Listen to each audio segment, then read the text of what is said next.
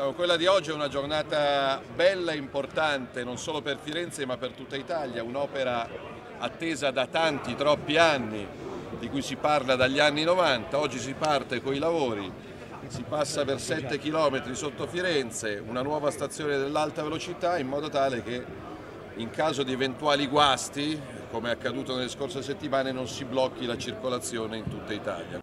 È un'opera importante, attesa da Firenze, ma si può tranquillamente affermare che è l'Italia che l'aspetta da lontano 1996, quando ci fu la prima conferenza dei servizi per realizzare il sottoattraversamento ferroviario che collega Campo di Marte alla stazione di Rifredi e oltre, con una doppia galleria. L'alta velocità da oggi si scrolla di dosso un sonno durato 27 anni e anche qualche polemica.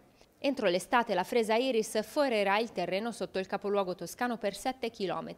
In segno di sostenibilità, le terre di scavo verranno riutilizzate per le cave di lignite nel Val d'Arno, a Cavriglia.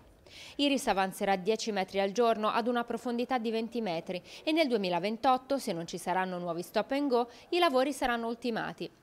Sotto Firenze dunque passeranno i treni ad alta velocità. Dividendo i due flussi, l'alta velocità da un lato e il trasporto locale e regionale dall'altro, Firenze ha un grande beneficio con i binari di superficie che si liberano e quindi meno ritardi, meno inefficienza, ma soprattutto possiamo realizzare un vero e proprio sistema ferroviario metropolitano. Oltre alla stazione Belfiore, con Ferrovie dello Stato c'è anche un altro progetto, la realizzazione della stazione Guidoni, un sistema generico che interseca stazioni con le tranvie.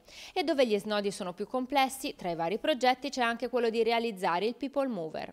Il People Mover noi l'abbiamo già progettato, abbiamo già fatto delle riunioni a Roma, 165 milioni per un eh, percorso banalizzato di, due, di 960 metri, significa sostanzialmente un chilometro. È quello che noi abbiamo ipotizzato da Santa Maria Novella per intendersi dal binario 2, ma con una nuova ferrovia che arriva direttamente alla stazione circondaria, che sarebbe la stazione in superficie eh, rispetto alla stazione Belfiore che invece 15 metri sotto.